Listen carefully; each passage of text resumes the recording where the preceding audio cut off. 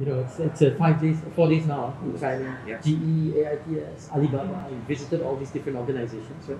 What's some key insights and learnings you've had on this trip? Okay, well, Roshan, I mean, obviously, uh, we- first of all, it's very good to have this very, very intense uh, program uh, visiting some of the top companies within uh, China. And I think initially, one of the first uh, comments I'd like to make is a comment I made to uh, the lady earlier in uh, GE. Is that when I first came to China um, 20, 25 years ago, um, it was the Chinese that were learning from me. So uh, they were sucking out all the information, all the knowledge that Right, I had, right, and uh, they were hungry for knowledge.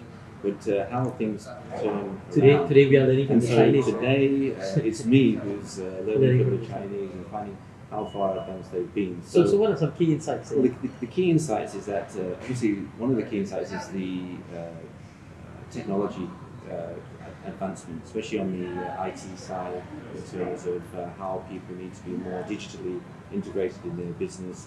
Um, but you know, being a, a bricks and mortar manufacturer, I realize that yes, I can keep that as my core business, Yeah. but I still need to add on the shell, the the, technology the, shell. the, the technologies and the shells and the platforms to Yeah. be able to really scale my business and look at how I can uh, internationalize my business as well. I mean, otherwise I'm going to be left behind for sure. Mm.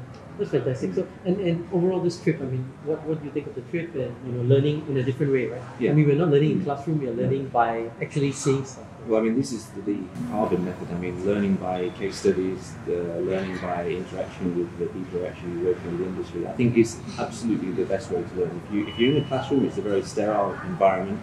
Uh, people get easily distracted. But here, you know, you've got so much of uh, sensory stimulus going on. here. You've got vision uh, stimulus, you've got hearing stimulus, you've got even Okay. ta- touching and tasting. Touching the So aircraft engine. Yeah, yeah, exactly. And talking and interacting with people who have got real jobs. Uh, it's really a fantastic opportunity. Yeah, yeah, yeah. Ah, that's uh, there's a Starbucks nearby. Let's go there. yeah, exactly. coffee Yeah, uh, that's that's where Good, the good, taste good, to, good, to, good to see that you're, the, the, there's Mm. a lot of learning from this trip. yeah, absolutely amazing.